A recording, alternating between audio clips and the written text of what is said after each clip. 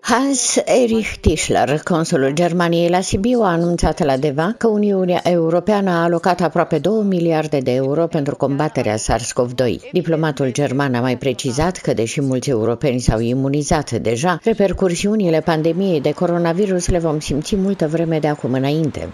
Die Folgen der Pandemie werden wir noch lange spüren, auch wenn der überwiegende Teil von uns bereits geimpft ist. Aber auch für diesen Fall ist gesorgt.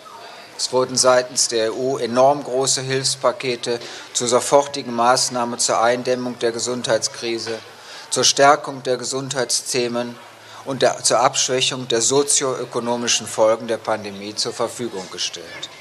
Historisch ist die Größe des Gesamtpakets von ca. 1,8 Billionen Euro. În ceea ce privește vaccinarea, consulul Germaniei la Sibiu a spus că, din acest punct de vedere, cetățenii Uniunii Europene se pot considera privilegiați. Hans-Erich Tischler a mai uh, menționat că locuitorii din Uniunea Europeană au numeroase drepturi, însă a venit și momentul să-și îndeplinească și obligațiile.